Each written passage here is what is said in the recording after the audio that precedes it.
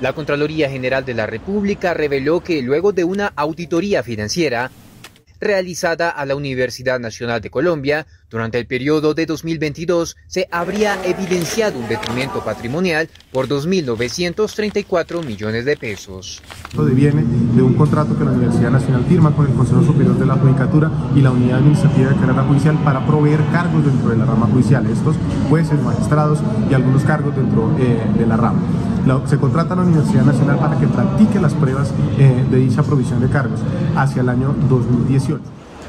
Según el ente de control, la institución se comprometió con el Consejo Superior de la Judicatura a realizar las pruebas psicotécnicas de conocimientos, competencias y aptitudes para estos cargos.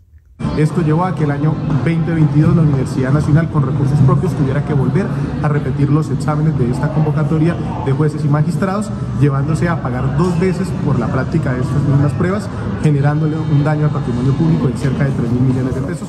Y es que el 28 de diciembre de 2018, el Consejo Superior de la Judicatura publicó los resultados finales de estas pruebas. Sin embargo, la Universidad Nacional señaló que se modificó el orden de las preguntas sin actualizar las claves para la calificación, generando inconsistencias en la evaluación de los participantes.